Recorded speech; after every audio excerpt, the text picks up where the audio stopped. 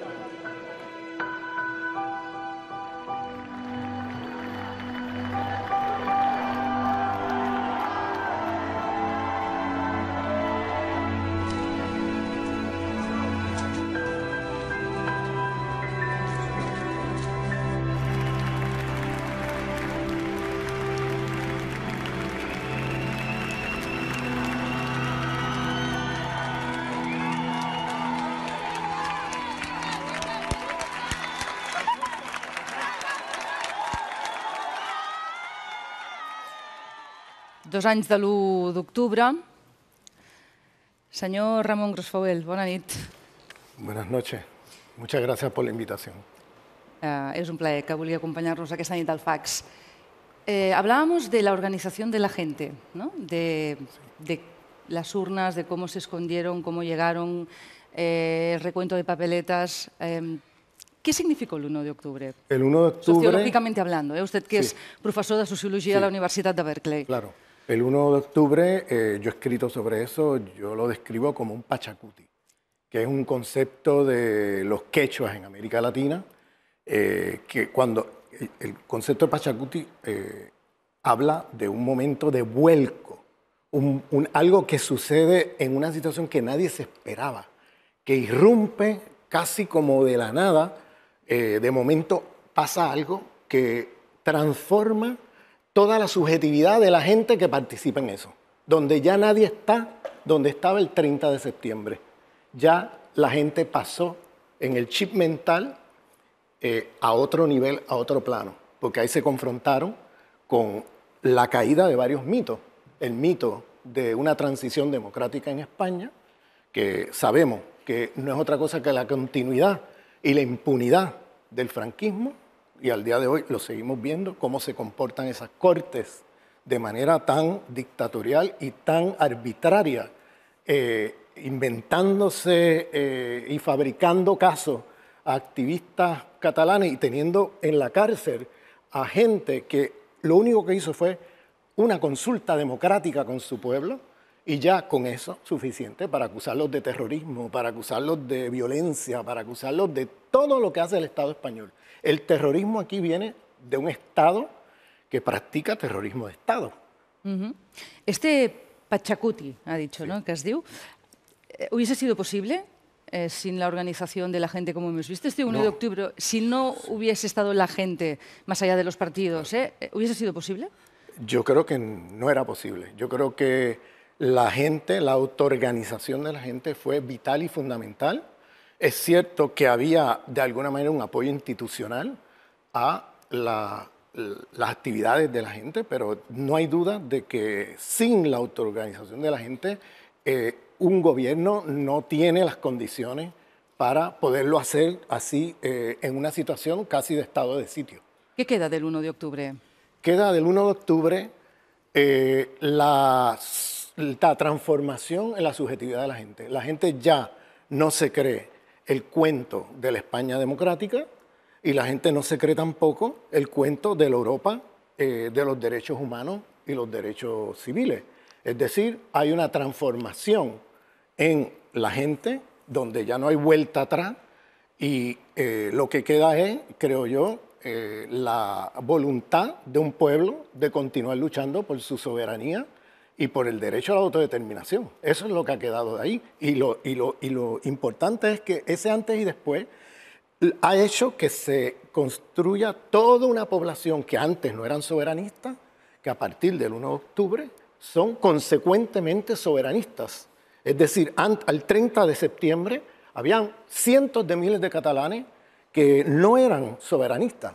Es la experiencia del primero y el 3 de octubre la que genera ese pachacute, ese vuelco que transforma la subjetividad de cientos de miles de catalanes en una dirección soberanista eh, por el derecho a la autodeterminación y por tanto eh, es, un momento, es un antes y después en la historia de Cataluña.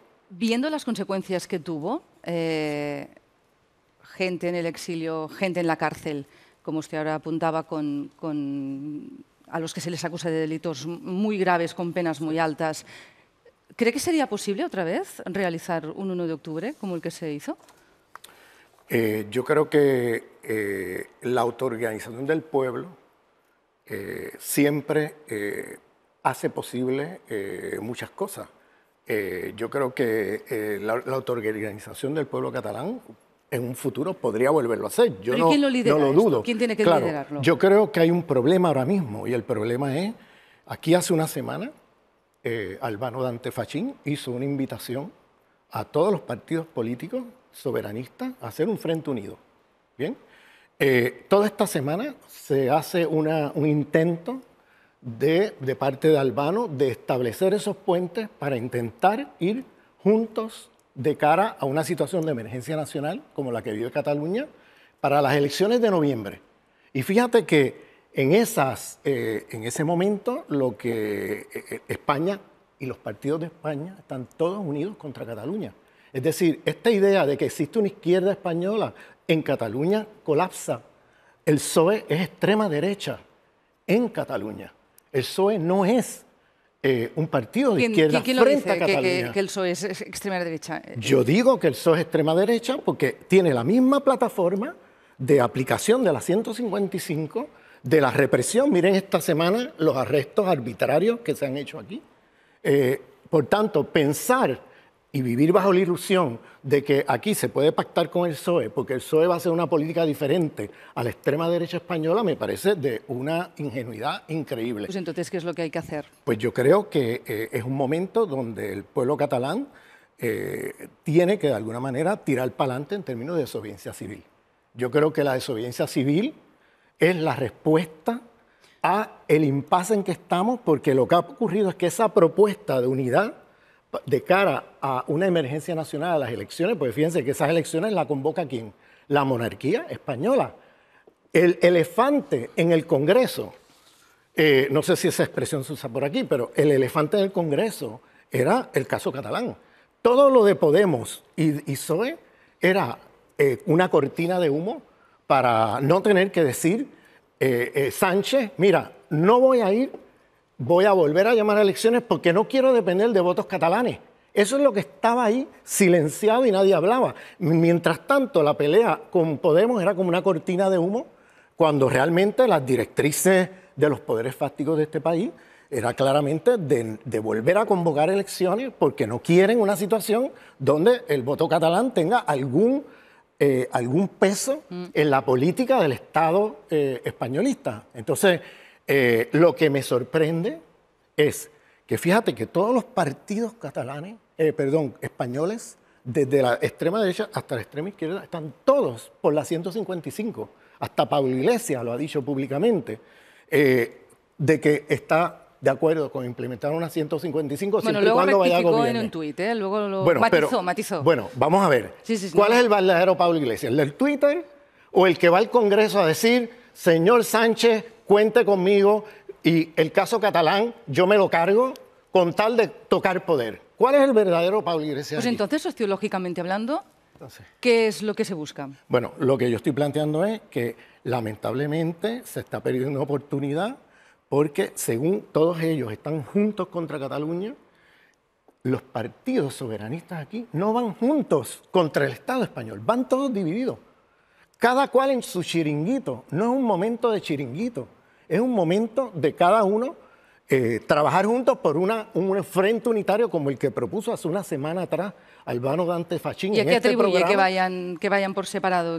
Tienen El- sus, el- ellos el- tienen sus, sus motivos, Claro, entiendo, pero ¿no? hay unos puntos en común con los cuales eh, eh, se puede hacer un frente común frente a un Estado que está violando eh, los derechos del pueblo catalán, desde todo punto de vista. Un Estado que se está comportando de una manera arbitraria, represiva, y frente a una situación de emergencia nacional como esa, toca unirse y toca echar a un lado la- los egos y los pequeños chiringuitos y tratar de ir en un frente común. Lamentablemente, esa por- oportunidad se ha perdido porque cada uno va por su lado.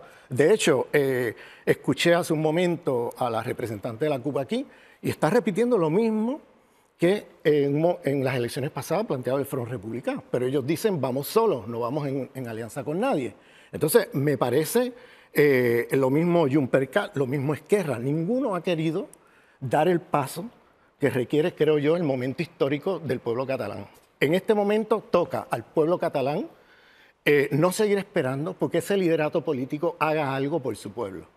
Toca al pueblo catalán organizarse, autoorganizarse desde abajo y comenzar una lucha de desobediencia civil en las próximas semanas. Ahora vamos a ir a esto. Antes quiero que el compañero Jordi de Planell, yo le preguntaba hace un rato què, què queda del 1 d'octubre. Doncs el Jordi de Planell, bona nit, de Pla, Bona nit. ha, ha seguit una mica el rastre de l'1 d'octubre i n'ha fet una mica de, de croquis, a veure com està la situació. Sí, Cris, perquè més enllà d'aquestes conseqüències polítiques i judicials de les quals parlàveu, podríem dir que l'UO ha quedat inserit en la vida quotidiana de molts catalans i catalanes. Fem una cosa, ens colem en un menjador qualsevol i en veiem alguns exemples. Els més nostàlgics poden rememorar el dia del referèndum comprant alguns dels molts records que se'n venen. Per exemple, aquestes urnes en miniatura de l'1 d'octubre. Només Òmnium Cultural ja n'ha venut més de 5.400. Però és que fins i tot aquells catalans que van decidir no anar a votar aquell dia es poden topar diàriament amb la memòria del referèndum als carrers dels seus pobles i de les seves ciutats. A Catalunya hi ha més de 90 municipis que han dedicat algun carrer o alguna plaça a la data del referèndum de l'1 d'octubre. Un dels primers a fer-ho va ser Aigua Viva, el gironès, i després se n'hi han sumat molts d'altres, com per exemple Tàrrega, Sant Cugat o també Girona. Aquests 90 són els que ja han fet el pas, però n'hi ha molts d'altres, de fet una vintena, que tenen previst fer-ho en els propers mesos. I això no és tot, perquè també hi ha una desena de municipis que han decidit no batejar cap carrer ni cap plaça amb la data del referèndum, però que en canvi recorden l'UO canviant els noms de poliesportius, de pavellons i també d'altres equipaments culturals. És el cas, per exemple, de Matadepera o de Balaguer. Però és que, a més a més, l'1 d'octubre també té la seva pròpia banda sonora. Hi ha una llarga llista de cançons, nosaltres n'hem comptat més d'una vintena que es van compondre com a homenatge al primer d'octubre. Són de grups i d'autors ben diversos com Joan Miquel Oliver, Judit Nederman, Charango, Buos, Fito Luri i també els Pets, que acaben d'actuar en aquest mateix plató. Doncs bé, coincidint amb el primer aniversari del referèndum, ells també van estrenar una cançó que estava inspirada en el primer d'octubre. Està titulada L'exèrcit que vindrà, i sona així. L'exèrcit que vindrà serà de rialles, de gent que omple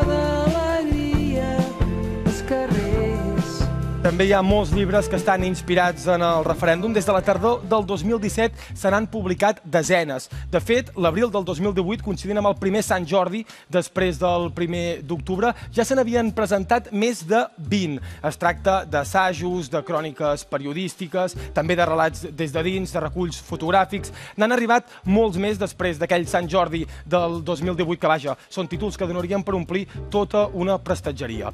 Però és que el referèndum s'ha notat fins i tot en la natalitat. Hem mirat els registres de l'Institut Espanyol d'Estadística i hem vist que nou mesos després del referèndum hi va haver un lleuger descens en el número de naixements a Catalunya si ho comparem amb el mateix període dels cinc anys anteriors. Per tant, podríem dir que les imatges d'aquell dia, amb les càrregues policials incloses, van provocar una certa destrampera entre els catalans i les catalanes. Però també una forta reacció política perquè els comitès de defensa del referèndum es van convertir en els comitès de defensa de la República. Al març del 2018 ja n'hi havia 380 de constituïts per tot el territori. Estem parlant d'assemblees locals i també d'assemblees de barri. Per tant, Cris, ja ho veus, aquestes podríem dir que són les altres conseqüències del referèndum més enllà de les polítiques, de les judicials, de les policials, que ja són més conegudes. I tant. Gràcies, Depla. Bona nit.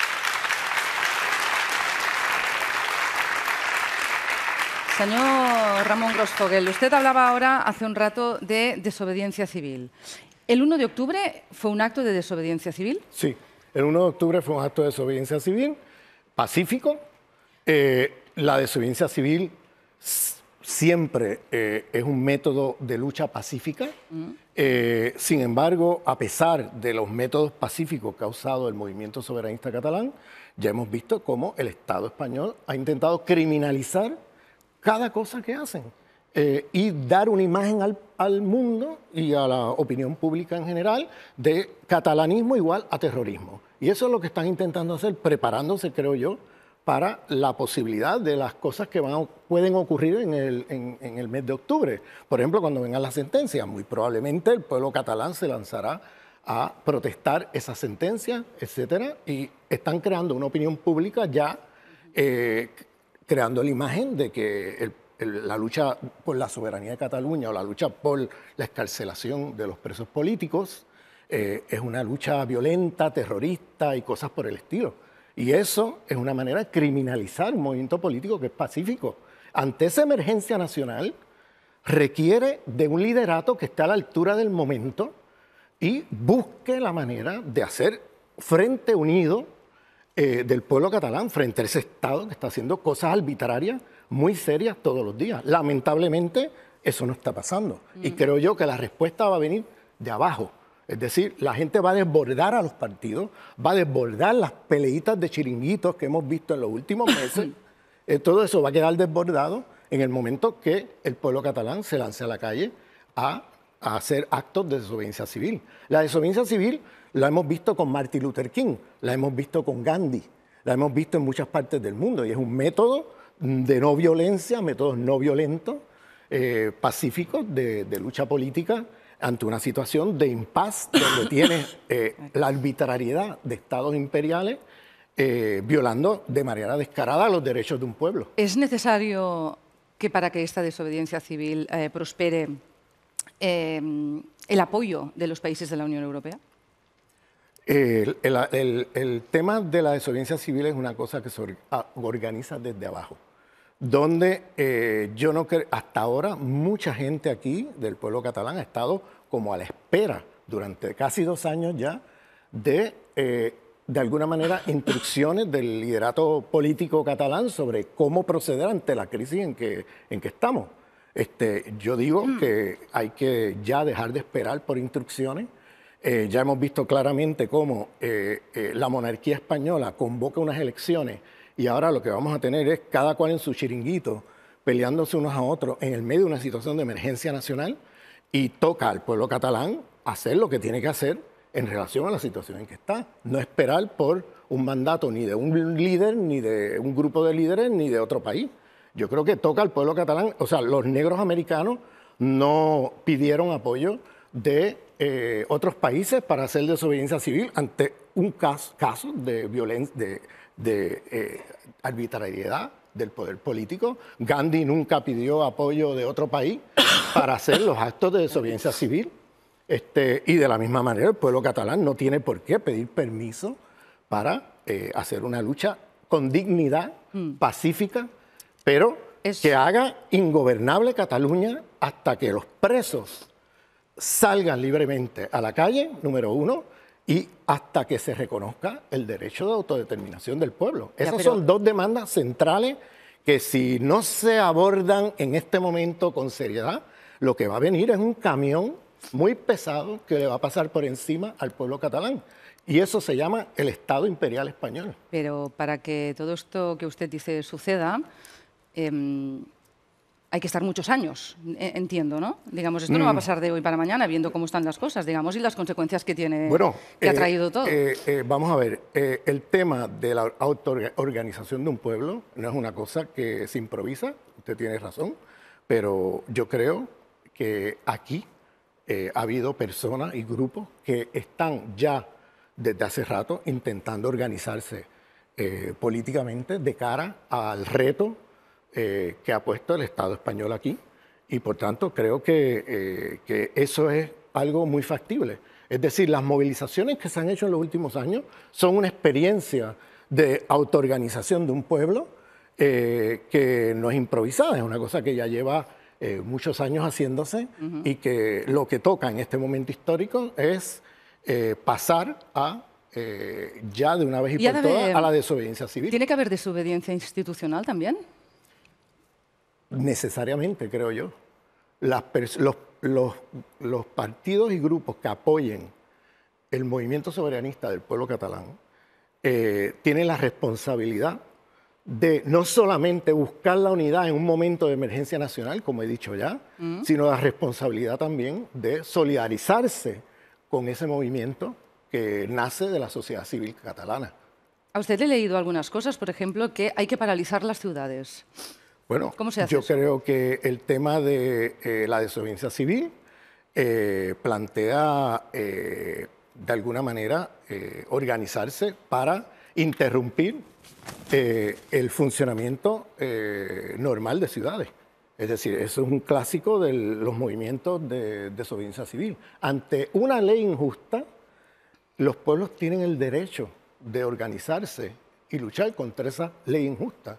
Y por tanto, eh, en el caso catalán, que tenemos no una, varias leyes muy injustas implementándose aquí, este, toca al pueblo catalán organizarse y paralizar ciudades. Eso, eso eh, no hay ninguna ciencia para eso. O sea, hay lugares de, de- donde eh, lugares neurálgicos del funcionamiento de una ciudad donde eh, un movimiento de desobediencia civil se vio en la India, se vio en los Estados Unidos, se ha visto en diferentes lugares del mundo, se organiza Lo para hemos visto en Hong Kong, lo ¿sería hemos eso? visto en Hong Kong y fíjense que en Hong Kong eh, muchos países lo apoyan, incluyendo países de la Unión Europea. Eh, sin embargo, eh, es curioso que cuando el pueblo catalán ha hecho sus demandas, eh, los países de la Unión Europea ignoran completamente eh, lo que está pasando aquí. Entonces, eh, yo creo que hay que ser consistente. Cuando hay una situación de opresión, sea la que sea, hay que, hay que ser consistente, hay que apoyar las iniciativas del pueblo. eh, y en Hong Kong es otro ejemplo de cómo han paralizado la ciudad este, a través de la autoorganización del pueblo. Y paralizar la ciudad significa, bueno, cortar algunas carreteras, cortar algunos espacios. Eso le toca al pueblo catalán organizarlo. Yo no puedo decir qué es lo que tienen que hacer por ellos, ¿bien? Pero eh, no es ninguna cosa este, eh, totalmente extraña, un movimiento eh, de eh, desobediencia civil. Se ha hecho en muchos lugares. ¿Cómo se interesa un profesor de sociología de la Universidad de Berkeley por el 1 de octubre? Bueno, porque eh, yo estoy en un departamento de estudios étnicos y nosotros somos un departamento que trabajamos el tema de la descolonización de los pueblos. Eh, nuestro departamento se formó con lucha política dentro de los Estados Unidos. Ese departamento se formó con huelga de estudiantes latinos, negros americanos, indígenas norteamericanos y asiáticos norteamericanos por producir un espacio dentro de la Universidad Blanca norteamericana de pensamiento propio hacia la descolonización del conocimiento y del poder. Por tanto, el caso catalán es una lucha por la descolonización de un pueblo frente a un imperio que ha estado por muchos siglos ya eh, impidiendo la soberanía de ese pueblo. Senyor Ramon Grossfogel, gràcies per haver estat aquesta nit al Preguntes Freqüents. Ha estat un plaer. Pots sortir per allà, molt amable.